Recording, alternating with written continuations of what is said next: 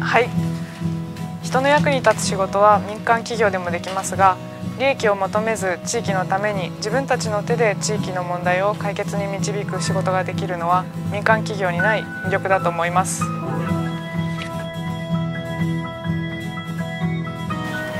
はい。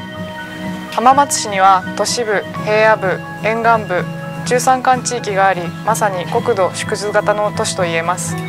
工業農水産業音楽文化も盛んでさまざまなジャンルの仕事に携わることができます。総合的な交通システムの企画交通量等の調査に携わっています。交通需要は非常に流動的で対応が難しいため考え悩むことも多々ありますが交通というスケールの大きな面からまちづくりに携わることができやりがいを感じています。